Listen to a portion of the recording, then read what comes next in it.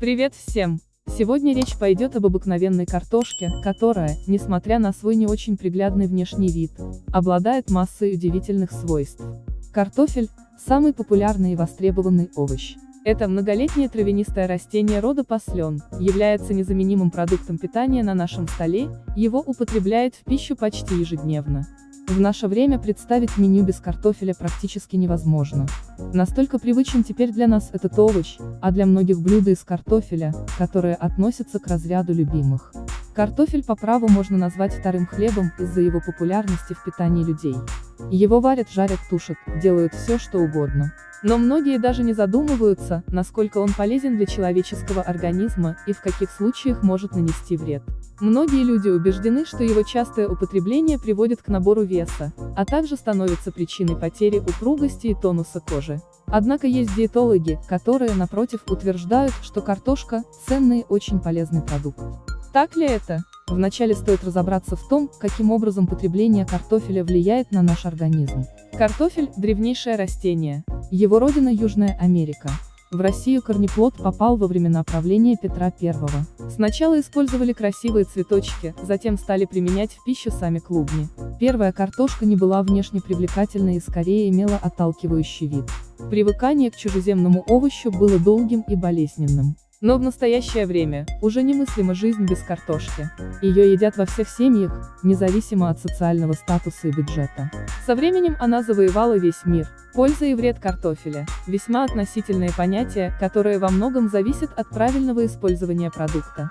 Полезные свойства картофеля основываются на его богатом составе, а вред – на некоторых особенностях хранения и приготовления. Все полезные вещества в картошке легко вымываются водой. Поэтому после очистки клубни нельзя долго вымачивать, а при варке лучше бросать в кипяток. Наибольшее количество витаминов и микроэлементов сохраняется в запеченном картофеле или сваренном с кожурой, в мундирах. Это объясняется тем, что самая полезная часть клубни – та, что ближе к кожуре. В клубнях картофеля содержится большое количество аминокислот и калия, также присутствует фосфор, магний, кальций, железо и витамины группы В, С и ПП. Поэтому картофель довольно полезен. Однако, больше всего он ценится за высокую калорийность и содержание углеводов, в основном, в виде крахмала. Картофель в несколько раз питательнее других овощных растений и благодаря этому способен прокормить множество людей.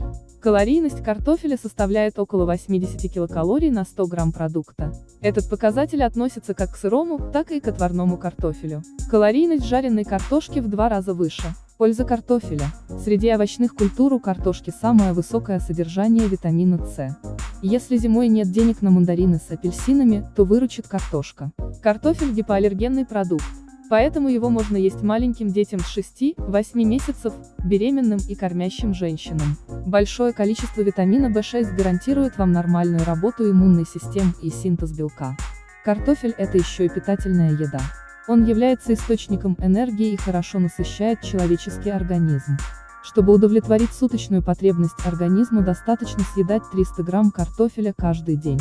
Также он оказывает положительное воздействие на сердечно-сосудистую систему, уменьшает уровень холестерина в крови, помогает укрепить стенки сосудов и защититься от атеросклероза, снижает отечность. Картофель полезен для гипертоников, так как высокое содержание калия способствует выведению из организма соли и нормализации водно-солевого баланса. Картофельные блюда полезны для людей, страдающих язвой, гастритом, подагрой, почечными заболеваниями. При лечении простуды ингаляции паром картошки помогает избавиться от ОРВИ. Для этого нужно отварить клубни и дышать горячим паром над кастрюлей. Сок картошки обладает потрясающим косметическим эффектом. Заметно отбеливает кожу лица, удаляет темные круги под глазами, убирает отеки на лице. Достаточно лишь несколько раз в неделю подержать тампон с соком картофеля с утра и вы будете выглядеть гораздо лучше. Свежевыжатый сок картошки поможет избавиться от пародонтоза. Рекомендуется три раза в день полоскать им рот и пародонтоз исчезнет. Употребление картофеля, как бы удивительно это ни звучало, благотворно влияет на нервную систему.